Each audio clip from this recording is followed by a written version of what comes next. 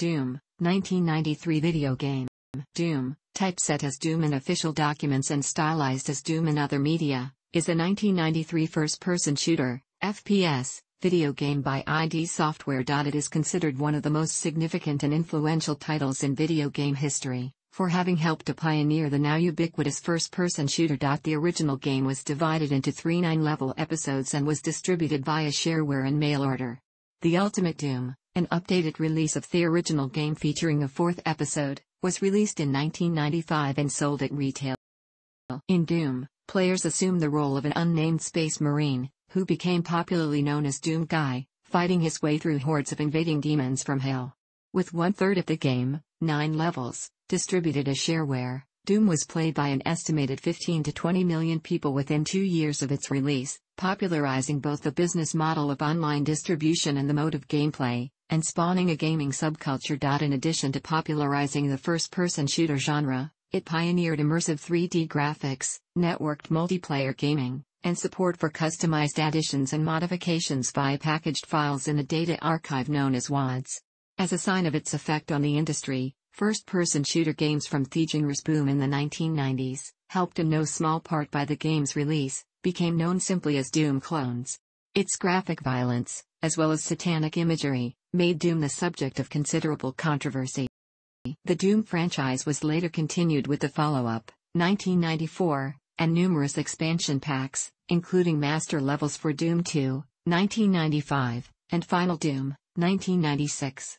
Originally released for MS-DOS, the games have been ported to numerous other platforms. Once the game's source code was released in 1997, it spawned even more adaptations, as fans further ported the code to countless devices, even on machines that were not designed to run games. The series started to lose mainstream appeal as the technology of the Doom game engine was surpassed in the mid-1990s, although fans have continued making WADs, speedruns, and modifications to the original. The franchise again received popular attention in 2004 with the release of Doom 3, a retelling of the original game using ID Tech 4, with an associated 2005 Doom motion picture. A reboot of the series, simply titled Doom and powered by ID Tech 6, was released in 2016 and focused on returning to the fast-paced action of the first two games. Doom is a first-person shooter presented with early 3D graphics. The player controls an unnamed space marine, later termed the Doom Guy, through a series of levels set in military bases on the moons of Mars and in Hell. To finish a level, the player must traverse through the area to reach a marked exit room. Levels are grouped together into named episodes, with the final level focusing on a boss fight with a particularly difficult enemy. While the levels are presented in a 3D perspective, the enemies and objects are instead 2D sprites presented from several set viewing angles, a technique sometimes referred to as 2.5D graphics. Levels are often labyrinthine, and a full screen auto map is available which shows the areas explored. Hat point. While traversing the levels, the player must fight variety of enemies, including demons and possessed undead humans, while managing supplies of ammunition, health, and armor. Enemies often appear in large groups, and the game features five difficulty levels which increase the quantity and damage done by enemies, with enemies respawning upon death and moving faster than normal on the hardest difficulty setting. The monsters have very simple behavior, consisting of either moving toward their opponent, or attacking by throwing fireballs, biting, and scratching. They will fight each other if one monster is accidentally harmed by another, though most monsters are not harmed by other monsters of the same kind. Levels can also include pits of toxic waste, ceilings that lower and crush anything below them, and locked doors which require a keycard, skull-shaped key device, or a remote switch to be opened. The player can find weapons and ammunition placed in the levels or can collect them from dead enemies. Weapons include a pistol, a chainsaw, a plasma rifle, and the BFG 9000, among others.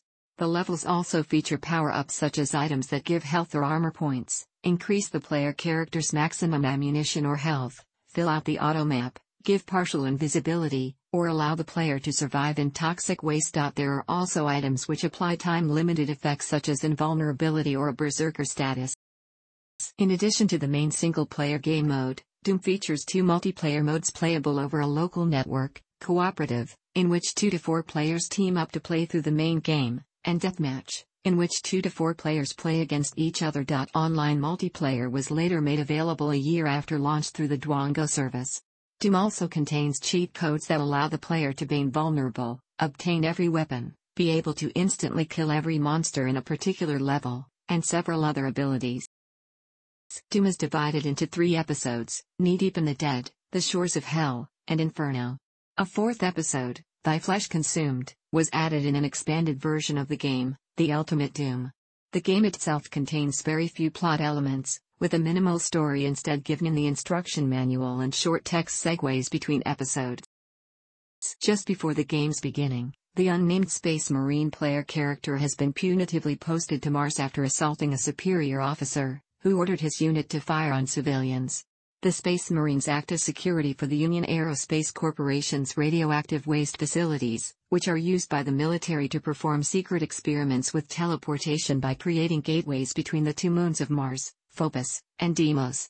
Deimos disappears entirely and something fragging evil starts pouring out of the teleporter gateways, killing or possessing all personnel. The Martian Marine unit is dispatched to investigate, with the player character left to guard the perimeter with only a pistol while the rest of the group proceeds inside the base and is killed.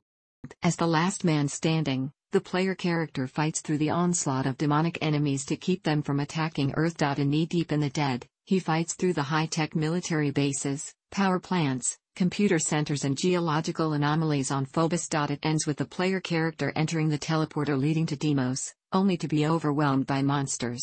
In the shores of hell he fights through installations on Deimos, similar to those on Phobos, but warped and distorted from the demon invasion and interwoven with beastly architecture. After defeating the titanic cyberdemon, the Marine discovers the vanished moon is floating above hell. Inferno begins after the Marine climbs off Deimos to the surface. The Marine fights his way through hell and defeats the spider mastermind that planned the invasion. A hidden doorway back to Earth opens for the hero, who has proven too tough for hell to contain.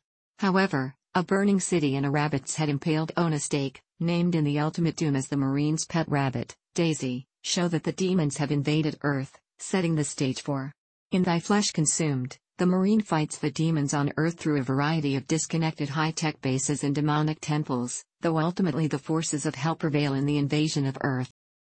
In May 1992, ID Software released Wolfenstein 3D, later called the grandfather of 3D shooters, specifically first-person shooters, because it established fast-paced action and technical prowess commonly expected in the genre and greatly increased the genre's popularity. Immediately following its release most of the ID Software team began work on a set of episodes for the game, titled Spear of Destiny, while ID co-founder and lead programmer John Carmack instead focused on technology research for the company's next game. Following the release of Spear of Destiny in September 1992, the team began to plan their next title. They wanted to create another 3D game using a new engine Carmack was developing, but were largely tired of Wolfenstein. They initially considered making another game in the Commander Keen series, as proposed by co-founder and lead designer Tom Hall, but decided that the platforming gameplay of the series was a poor fit for Carmack's fast-paced 3D engines. Additionally, the other two co-founders of ID, designer John Romero and lead artist Adrian Carmack, wanted to create something in a darker style than the Keen games. John Carmack then came up with his own concept, a game about using technology to fight demons, inspired by the Dungeons and Dragons campaigns the team played, combining the styles of Evil Dead 2 and Aliens. The concept originally had a working title of Green and Pissed, but Carmack soon named the proposed game after a line in the film The Color of Money, What's in the case? In here? Doom. The team agreed to pursue the Doom concept, and development began in November 1992. The initial development team was composed of five people programmers John Carmack and Romero, artists Adrian Carmack and Kevin Cloud, and designer Hall. They moved offices to a dark office building, which they named Suite 666, and drew inspiration from the noises coming from the dentist's office next door. They also decided to cut ties with Apogee Software, their previous publisher, and to instead self-publish Doom. Early in development, rifts in the team began to appear. At the end of November Hall delivered a design document, which he named the Doom Bible, that described the plot, backstory, and design goals for the project. His design was a science fiction horror concept wherein scientists on the moon open a portal that aliens emerge from. Over a series of levels the player discovers that the aliens are demons while hell steadily infects the level design over the course of game. John Carmack not only disliked the idea but dismissed the idea of having a story at all, Story in a game is like story in a porn movie, it's expected to be there, but it's not that important. Rather than a deep story, he wanted to focus on the technological innovations of the game, dropping the levels and episodes of Wolfenstein in favor of a fast, continuous world. Tom disliked the idea, but the rest of the team sided with Carmack. Hall spent the next few weeks reworking the Doom Bible to work with Carmack's technological ideas. Hall was forced to rework it again in December, however, after the team decided that they were unable to create a single, seamless world with the hardware limitations of the time, which contradicted much off the document.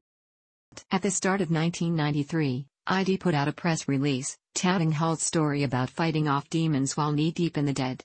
The press release proclaimed the new game features that John Carmack had created, as well as other features, including multiplayer gaming features, that had not yet even been designed. Early versions of the game were built to match the Doom Bible, a pre-alpha version of the first level included Hall's introductory base scene. Initial versions of the game also retained arcade elements present in Wolfenstein 3D, like score points and score items, but those were removed early in development as they felt not in keeping with the tone of the game. Other elements, such as a complex user interface, an inventory system, a secondary shield protection, and lives were modified and slowly removed over the course of development.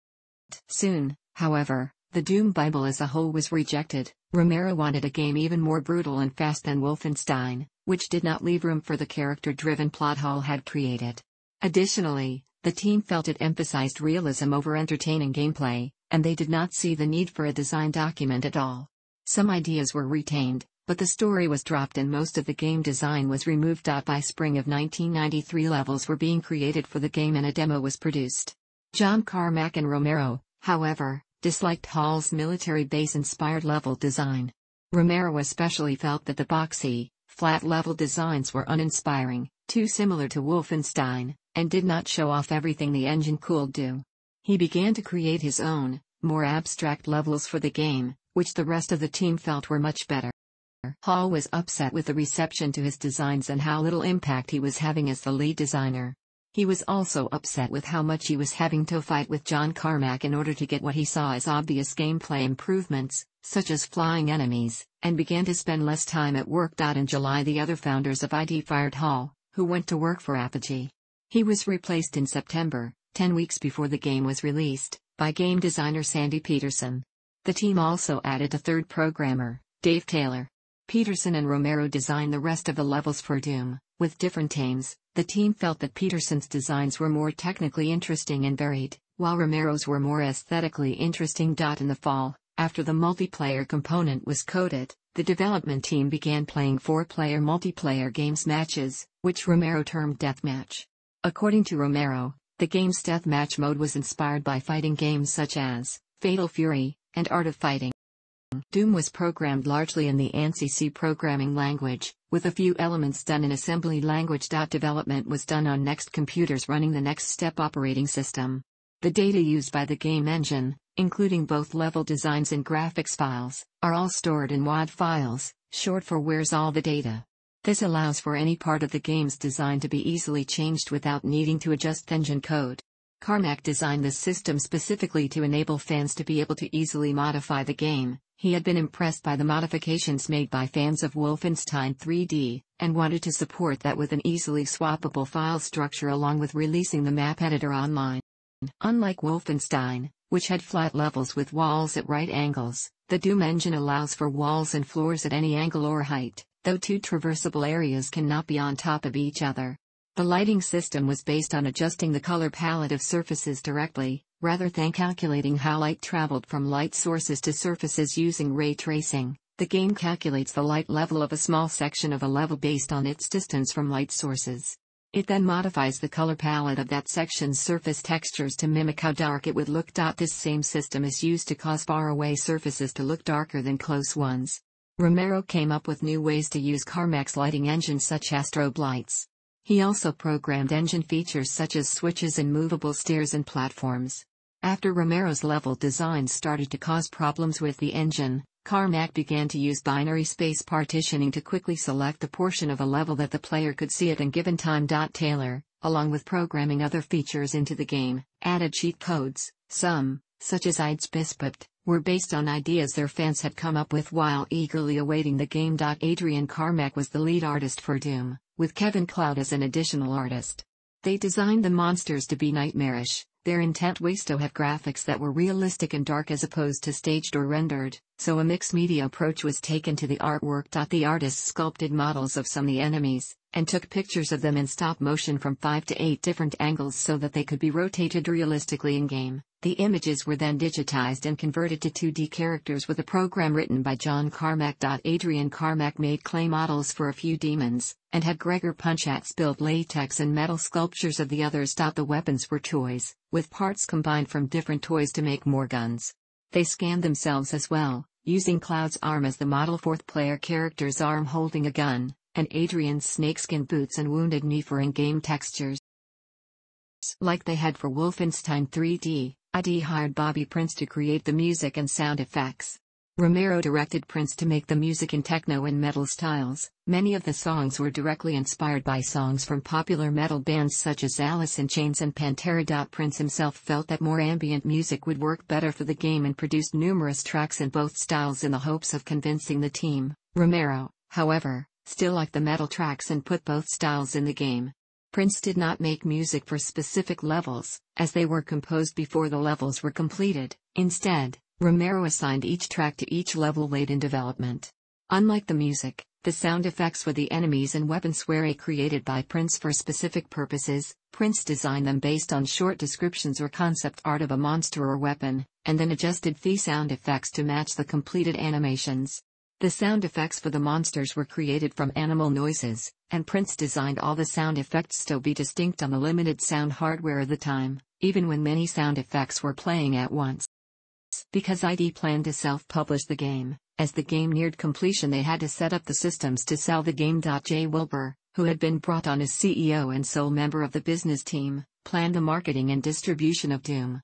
He felt that the mainstream press was uninterested in the game, and as ID would make the most money off of copies they sold directly to customers, up to 85% of the planned 40 US dollar price, he decided to leverage the shareware market as much as possible, buying only a single ad in any gaming magazine. Instead, he reached out directly to software retailers, offering them copies of the first Doom episode for free, allowing them to charge any price for it, in order to spur customer interest in buying the full game directly from ID. Doom's original release date was the third quarter of 1993, which the team did not meet. By December 1993, the team was working non-stop on the game, with several employees sleeping at the office. Programmer Dave Taylor claimed that working on the game gave him such a rush that he would pass out from the intensity.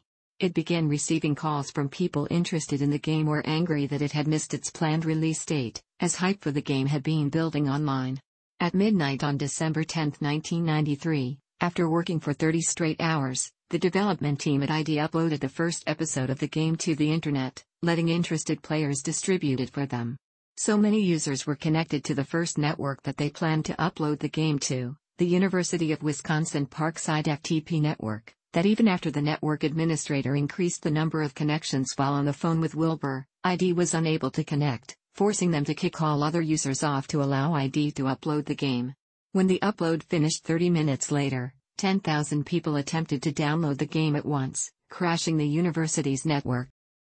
The popularity of Doom led to the development of an expanded version, The Ultimate Doom, 1995, which includes a fourth episode. Additionally, numerous ports of the game have been released by other companies.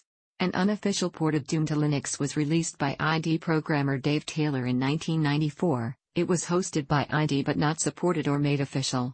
Official ports of Doom were released for Amiga OS in 1993, 32X, Atari Jaguar, and Mac OS in 1994, Super Nintendo Entertainment System, PlayStation, and Windows in 1995, 3Do in 1996, Sega Saturn in 1997, Game Boy Advance in 2001, Xbox 360 in 2006, iOS in 2009, and PlayStation 3 in 2012. Some of these were bestsellers even many years after the initial release. Doom has additionally been ported unofficially to numerous platforms, so many ports exist, including esoterica such as smart thermostats and oscilloscopes, that variations on it runs Doom or can it run Doom? Are long-running phrases. The ability for others to create custom levels and otherwise modify the game using WAD files turned out to be a popular aspect of Doom. Gaining the first large mod making community, Doom affected the culture surrounding first person shooters, and also the industry. Several future professional game designers started their careers making Doom WADs as a hobby, among them Tim Willits, who later became the lead designer at ID Software. The first level editors appeared in early 1994, and additional tools have been created that allow most aspects of the game to be edited. Although the majority of WADs contain one or several custom levels mostly in the style of the original game, others implement new monsters and other resources, and heavily alter the gameplay. Several popular movies, television series, other video games and other brands from popular culture have been turned into Doom WADs by fans, including Aliens, Star Wars, The Simpsons, South Park, Sailor Moon, Dragon Ball Z, Pokemon, Beavis and Butthead, Batman, and Sonic the Hedgehog. Some works, like the theme Doom patch, combined enemies from several films, such as Aliens, Predator, and The Terminator. Some add-on files were also made that changed the sounds made by the various characters and weapons. Around 1994 and 1995, WADs were primarily distributed online over bulletin board systems or sold in collections on compact discs in computer shops sometimes bundled with editing guidebooks. FTP servers became the primary method in later years. A few WADs have been released commercially, including the master levels for Doom 2, which was released in 1995 along with Maximum Doom, a CD containing 1,830 WADs that had been downloaded from the internet. Several thousand WADs have been created in total. The ID Games FTP archive contains over 18,000 files, and this represents only a fraction of the complete output of Doom fans. Third-party programs were also written to handle the loading of various WADs, since the game is a DOS game and all commands had to be entered on the command line to run. A typical launcher would allow the player to select which files to load from a menu, making it much easier to start. In 1995, Wizard Works released the D Zone pack featuring hundreds of levels for Doom and Doom 2. D Zone was reviewed in Dragon by J&D. J gave the pack 1 out of 5 stars, while D gave the pack 1.5 stars. Within hours of Doom's release, university networks were banning Doom multiplayer games, as a rush of players overwhelmed their systems. After being alerted by network administrators the morning after release that the game's deathmatch network connection setup was crippling some computer networks, John Carmack quickly released a patch to change it, though many administrators had to implement Doom-specific rules to keep their networks from crashing due to the overwhelming traffic. The game became a major problem at workplaces, both occupying the time of employees and clogging computer networks. Intel, Lotus Development, and Carnegie Mellon University were among many organizations reported to form policies specifically disallowing Doom playing during work hours. At the Microsoft campus, Doom was by one account equal to a religious phenomenon. Doom was number one on Computer Gaming World's Playing Lately? Survey for February 1994. One reader said that no other game even compares to the addictiveness of NetDoom with four devious players. The only game I've stayed up 72 plus straight hours to play, while another reported that linking four people together for a game of Doom is the quickest way to destroy a productive, boring evening of work. In late 1995, Doom was estimated to be installed on more computers worldwide than Microsoft's new operating system Windows 95, despite million dollar advertising campaigns for Windows 95. The game's popularity caused Microsoft to hire ID Software to port Doom to Windows with the Wing API, and Bill Gates briefly considered buying the company. Microsoft developed a Windows 95 port of Doom to promote the operating system as a gaming platform. The development team in this effort was led by then employee Gabe Newell. One Windows 95 promotional video had Bill Gates digitally superimpose it into the game. Although Petersen said that it was nothing more than the computer equivalent of whack-a-mole, Doom received critical acclaim and was widely praised in the gaming press, broadly considered to be one of the most important and influential titles in gaming history. Upon release, Games Master gave it a 90% rating. Dragon gave it 5 stars, praising the improvements over Wolfenstein 3D, the fast-moving arcade shoot-'em-up gameplay, and network play. A common criticism of Doom was that it was not a true 3D game, since the game engine did not allow corridors and rooms to be stacked on top of one another, room over room, and instead relied on graphical trickery to make it appear that the player character and enemies were moving along differing elevations. Computer Gaming World stated in February 1994 that Wolfenstein 3D fans should look forward to a delight of insomnia, and since networking is supported, bring along a friend to share in the visceral delights. A longer review in March 1994 said that Doom was worth the wait, a wonderfully involved and engaging game, and its technology a new benchmark for the gaming industry. The reviewer praised the simply dazzling graphics, and reported that death matches may be the most intense gaming experience available today. While criticizing the Ho-Hum endgame with a too easy end boss, he concluded that Doom is a virtuoso performance. Edge gave it a 7 tenths rating, criticizing the fairly simple 3D perspective maze adventure slash shoot 'em up gameplay but praising the graphics and levels. In 1994, PC Gamer UK named Doom the third best computer game of all time. The editors wrote, although it's only been around for a couple of months, Doom has already done more to establish the PC's arcade clout than any other title in gaming history. In 1994 Computer Gaming World named Doom Game of the Year. In 1995, Next Generation said it was the most talked about PC game ever, and with good reason. Running on a 486 machine, essential for maximum effect, Doom took PC graphics to a totally new level of speed, detail, and realism, and provided a genuinely scary degree of immersion in the game world. In 1996 Computer Gaming World ranked it as the fifth best video game of all time, and the third most innovative game. In 1998, PC Gamer declared it the 34th best computer game ever released, and the editors called it probably the most imitated game of all time. Doom continued what Wolfenstein 3D began and elevated the fledgling 3D shooter genre to blockbuster status. In 2001, Doom was voted the number one game of all time in a poll among over 100 game developers and journalists conducted by GameSpy. In 2003, IGN ranked it as the 44th top video game of all time and also called it the breakthrough game of 1,993 inches, adding, its arsenal of powerful guns, name lithe shotgun and BFG, intense level of gore and perfect balance of adrenaline-soaked action and exploration kept this gamer riveted for years. PC Gamer proclaimed Doom the most influential game of all time in its 10-year anniversary issue in April 2004. In 2004, readers of Retro Gamer voted Doom as the ninth top retro game, with the editors commenting, only a handful of games can claim that they've changed the gaming world, and Doom is perhaps the most qualified of them all. In 2005, IGN ranked it as the 39th top game. On March 12, 2007, the New York Times reported that Doom was named to a list of the 10 most important video games of all time, the so-called Game Canon. The Library of Congress took up this video game preservation proposal and began with the games from this list. In 2009, Game Trailers ranked Doom as number one breakthrough PC game. That year Game Informer put Doom sixth on the magazine's list of the games of all time, stating that it gave the genre the kickstart it needed to rule the gaming landscape two decades later. Game Informer staff also put it sixth on their 2001 list of the 100 best games ever.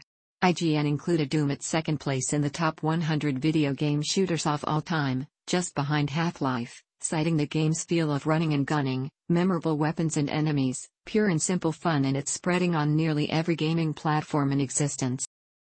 In 2012, Time named it one of the 100 greatest video games of all time as it established the look and feel of later shooters as surely as Xerox PARC established the rules of the virtual desktop, adding that its impact also owes a lot to the gonzo horror sensibility of its designers, including John Romero, who showed a bracing lack of restraint in their deployment of gore and satanic iconography.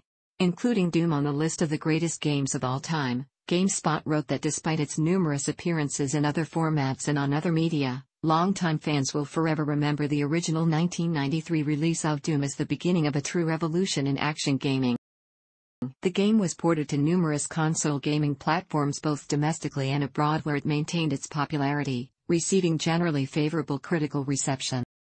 With the release of Doom, ID Software, quickly found itself making $100,000 daily with shareware copies sold at $9. Sandy Petersen later remarked that the game sold a couple of hundred thousand copies during its first year or so, as piracy kept its initial sales from rising higher. Experts estimate that the game sold approximately 2 to 3 million physical copies from its release through 1999. According to PC Data, which tracked sales in the United States, The Doom Shareware Edition sold 1.15 million copies by September 1999. The Ultimate Doom SKU reached sales of 787,397 units by that date. At the time, PC Data ranked them as the country's 8th and 20th best selling computer games since January 1993. In addition to its sales, the game's status as shareware dramatically increased its market penetration. PC Zone S. David McCandless wrote that the game was played by an estimated 6 million people across the globe, while other sources estimate that 10-20 million people played Doom within 24 months of its launch. Doom was notorious for its high levels of graphic violence and satanic imagery, which generated controversy from a broad range of groups. Doom for the Genesis 32X was among one of the first video games to be given an M for mature rating from the entertainment software rating board due to its violent gore and nature. Yahoo! Games listed it as one of the top 10 most controversial games of all time. It was criticized by religious organizations for its diabolic undertones and was dubbed a mass murder simulator by critic and Killology research group founder David Grossman. Doom prompted fears that the then emerging virtual reality technology could be used to simulate extremely realistic killing. The game again sparked controversy throughout a period of school shootings in the United States when it was found that Eric Harris and Dylan Klebold, who committed the Columbine High School massacre on April 20, 1999, were avid players of the game. While planning for the massacre, Harris said in his journal that the killing would be like playing Doom, and it'll be like the LA riots, the Oklahoma bombing, World War II, Vietnam, Duke Nukem and Doom all mixed together, and that his shotgun was straight out of the game. A rumor spread afterwards that Harris had assigned a Doom level that looked like the high school, populated with representations of Harris's classmates and teachers, and that Harris practiced for his role in the shootings by playing the level over and over. Although Harris did design Doom levels, which later became known as the Harris levels, none have been found to be based on Columbine High School. In the release versions before 1.2 to 1.4, the game has been banned in Germany due to a swastika in E1M4. The ban was lifted after ID Software changed the swastika, and said that it was the homage of Wolfenstein 3D. Doom has appeared in several forms in addition to video games, including a Doom comic book, four novels by Dafydd ab Hugh and Brad Linaweaver, loosely based on events and locations in the games, and a live-action film starring Karl Urban and The Rock released in 2005. The game's development and impact on popular culture is also the subject of the book by David Kushner. The Doom series remained dormant between 1997 and 2000, when Doom 3 would finally be announced. A retelling of the original Doom using entirely new graphics technology and a slower paced survival horror approach, Doom 3 was hyped to provide as large a leap in realism and interactivity as the original game and helped renew interest in the franchise when it was released in 2004, under the ID Tech 4 game engine. The series would again remain dormant for 10 years until a remake, simply titled Doom and running on the new ID Tech 6, was announced with a beta access to players that had pre-ordered. The game held its closed alpha multiplayer testing in October 2015, as closed and open beta access ran during March to April 2016. Returning to the series' roots in fast-paced action and minimal storytelling, the full game eventually released worldwide on May 13, 2016. The project initially started as Doom 4 in May 2008, set to be a remake of Doom 2, Hell on Earth and ditching the survival horror aspect of Doom 3. Development completely restarted as ID's Tim Willits remarked that Doom 4 was lacking the personality of the long-running shooter franchise. Doom was influential and dozens of new first-person shooter titles appeared following Doom release, and they were often referred to as Doom clones rather than first-person shooters. The term Doom clone was used to describe the style of gameplay in Doom-like games. While the term was initially popular, it was, after 1996, gradually replaced by first-person shooter, and the phrase first-person shooter had firmly superseded Doom clone around 1998. Some of these were certainly clones, hastily assembled and quickly forgotten, while others explored new grounds of the genre and were highly acclaimed. Many of the game's closely imitated features in Doom such as the selection of weapons and cheat codes. Doom principal rivals were Apogee's Rise of the Triad and Looking Glass Studios' System Shock. The popularity of Star Wars-themed WADs is rumored to have been the factor that prompted LucasArts to create their first-person shooter Dark Forces. The Doom game engine was licensed by ID Software to several other companies, who released their own games using the technology, including Heretic, Strife, Quest for the Sigil, and Hacx, Twitch and Kill. A Doom-based game called Chex Quest was released in 1996 by Ralston Foods as a promotion to increase cereal sales, and the United States Marine Corps released Marine Doom. When 3D Realms released Duke Nukem 3D in 1996, a tongue-in-cheek science fiction shooter based on Ken Silverman's technologically similar build engine, ID Software was nearly finished developing Quake, its next-generation game, which mirrored Doom's success for much of the remainder of the 1990s and reduced interest in its predecessor. Wolfenstein 3D In addition to the thrilling nature of the single-player game, the deathmatch mode was an important factor in the game's popularity. Doom was not the first first-person shooter with a deathmatch mode. Maze War, an FPS released in 1974, was running multiplayer deathmatch over Ethernet and Xerox computers by 1977. The widespread distribution of PC systems and the violence in Doom made deathmatching particularly attractive. Two player multiplayer was possible over a phone line by using a modem, or by linking two PCs with a null modem cable. Because of its widespread distribution, Doom hence became the game that introduced deathmatching to a large audience and was also the first game to has the term deathmatch. Although the popularity of the Doom games dropped with the release of more modern first-person shooters, the game still retains a strong fan base that continues to this day by playing competitively and creating WADs, and Doom-related news is still tracked at multiple websites such as Doomworld. Interest in Doom was renewed in 1997, when the source code for the Doom engine was released. It was also placed under the GNU General Public License in October 3, 1999. Fans then began porting the game to various operating systems, even to previously unsupported platforms such as the Dreamcast. As for the PC, over 50 different Doom source ports have been developed.